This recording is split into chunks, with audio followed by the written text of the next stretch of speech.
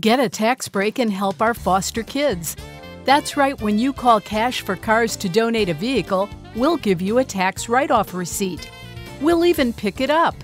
It's quick and easy. Just give us a call now.